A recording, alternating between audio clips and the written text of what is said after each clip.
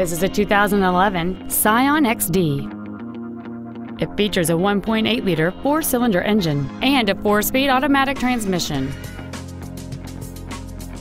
Features include a premium audio system, a low tire pressure indicator, traction control and stability control systems, a CD player, a passenger side vanity mirror, side curtain airbags, rear seat child-proof door locks, air conditioning, a pass-through rear seat, and this vehicle has fewer than 29,000 miles on the odometer.